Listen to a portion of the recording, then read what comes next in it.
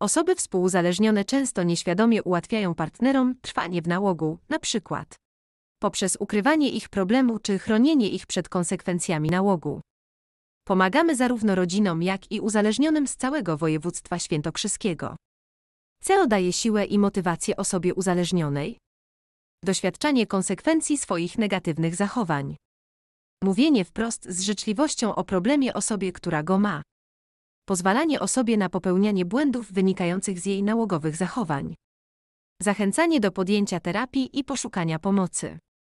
Wyciąganie konsekwencji wobec osoby uzależnionej, jeśli jej zachowanie nas rani, konsekwentne trzymanie granic i postanowień. Dzielenie się z osobą własnymi doświadczeniami z pokonania nałogu, jeśli się takie ma. Dzielenie się z osobą uzależnioną tym, jak się czujemy w związku z jej zachowaniami. Podjęcia własnej terapii, jak się jest w związku z osobą, która ma nauk. Co nie pomaga osobie uzależnionej? Maskowanie konsekwencji, przejmowanie odpowiedzialności, ukrywanie zachowania przez innych. Udawanie, że problemu nie ma, mówienie o nim tylko w gniewie i frustracji. Kontrolowanie osoby i jej zachowania, próba wymuszania na niej dobrego. Poniżanie i obrażanie osoby, mówieniu BY, szła się leczyć.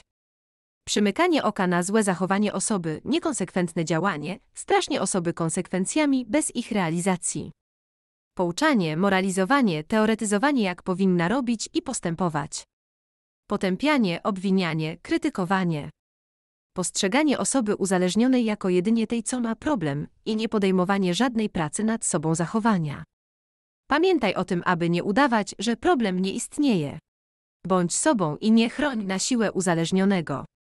Dowiedz się czegoś o uzależnieniach, czytaj naszego bloga.